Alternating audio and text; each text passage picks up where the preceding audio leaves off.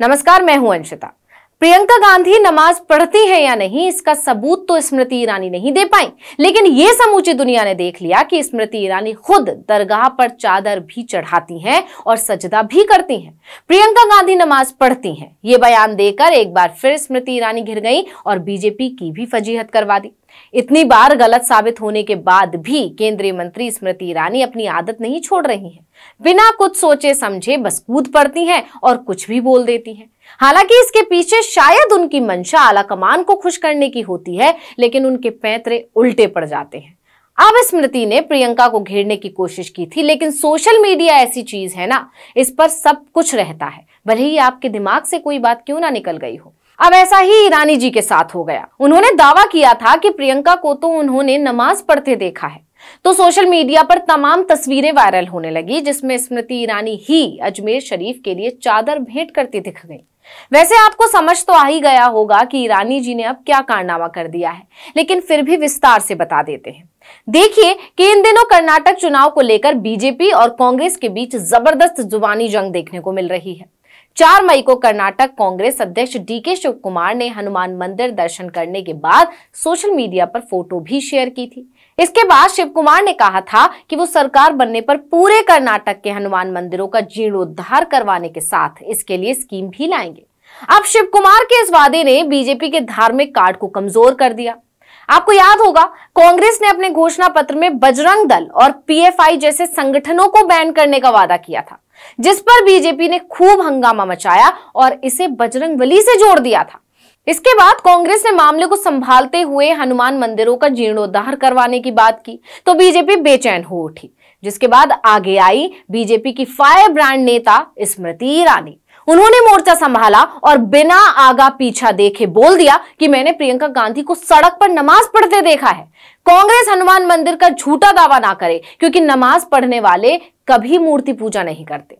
फिर क्या था? सोशल मीडिया पर स्मृति एक बार फिर ट्रोल हो गई। लोगों ने कहना शुरू कर दिया कि अगर स्मृति इन तस्वीरों को देख लेती या उन्हें ये तस्वीरें याद होती तो वो ऐसा बयान हरगिज नहीं देती। इतना ही नहीं, स्मृति ने तो प्रियंका की नमाज़ पढ़ते का कोई सबूत पेश नहीं किया। लेकिन ट्रोलर्स ने ऐसी कई तस्वीरें दिखा दी जिसमें बीजेपी के दिग्गजों को मुस्लिम समुदाय के कार्यक्रमों और दरगाहों पर देखा जा सकता है।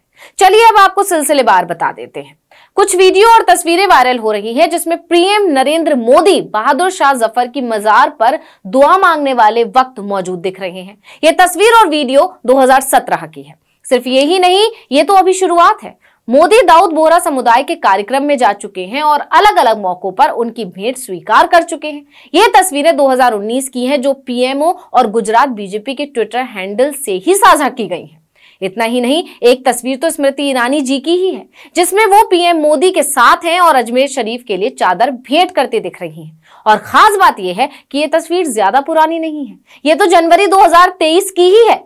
इसके अलावा केंद्रीय मंत्री पीयूष गोयल ने तो दावा किया था कि वो खुद रोज सुबह पूजा करने के साथ कलमा भी पढ़ते हैं।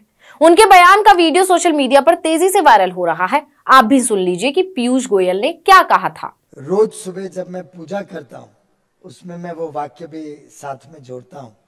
ला इलाहा मोहम्मद अब इन तस्वीरों के सामने आने के बाद स्मृति ईरानी से सवाल पूछे जा रहे हैं कि पीएम मोदी, आपकी पार्टी के मंत्री और आप खुद मुस्लिम समुदाय के कार्यक्रमों में जाते हैं।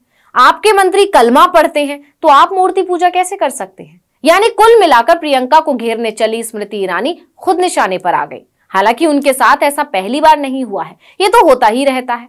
आपको याद होगा सितंबर 2022 में जब कांग्रेस भारत जोड़ो यात्रा निकाल रही थी, उस समय स्मृति ईरानी ने बड़े ही विश्वास के साथ दावा कर दिया था कि राहुल गांधी ने स्वामी विवेकानंद को नमन नहीं किया। उन्होंने कहा था कि अगर कन्याकुमारी से यात्रा शुरू की गई थी तो राहुल गांधी को स्वामी विवेकानंद को भी नमन करना चाहिए था, लेकिन उन्होंने ऐसा नहीं किया।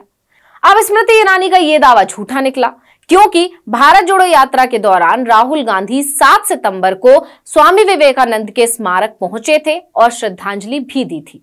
इसका वीडियो भी कांग्रेस ने अपने आधिकारिक ट्विटर हैंडल और दूसरे मीडिया माध्यमों से साझा किया था।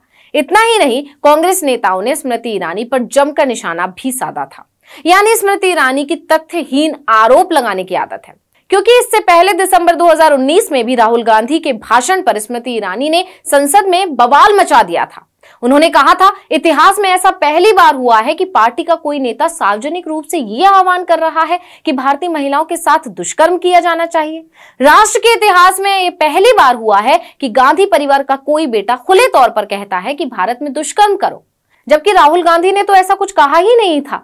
बल्कि उन्होंने तो भारत में लगातार हो रही दुष्कर्म की घटनाओं पर सरकार से नाराज़गी जताते हुए कहा था। आप जहाँ भी देखते हैं उस देश में जहाँ नरेंद्र मोदी ने मेक इन इंडिया कहा था, अब आप जहाँ भी देखते हैं मेक इन इंडिया नहीं, बल्कि रेप इन इंडिया दिखता है।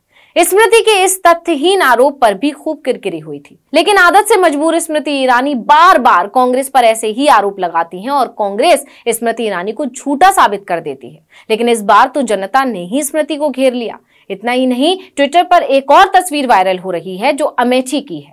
और इसमें प्रियंका गांधी को मुस्लिम समुदाय के लोगों के साथ देखा जा सकता है, लेकिन वो नमाज़ नहीं पढ़ रही हैं, बल्कि दुआ करती दिख रही हैं। यानी स्मृति के इस दावे में भी कोई सच्चाई नज़र नहीं आई कि प्रियंका ने अमेठी में नमाज़ पढ़ी थी। ये सब देखकर तो कहा जा सकता है कि स्मृति की बिना सबूतों के आरोप लगाने की आदत सिर्फ़ उनके लिए ही नहीं, बीजेपी के लिए भी मुसीबत बन जाती है। इस वीडियो में इतना ही। आपसे अनुरोध है कि यूट्यूब पर हमारे चैनल आर्टिकल 19 इंडिया को सब्सक्राइब कीजिए फेसबुक पर लाइक कीजिए और कमेंट करके बताइए आपको हमारा ये वीडियो कैसा लगा।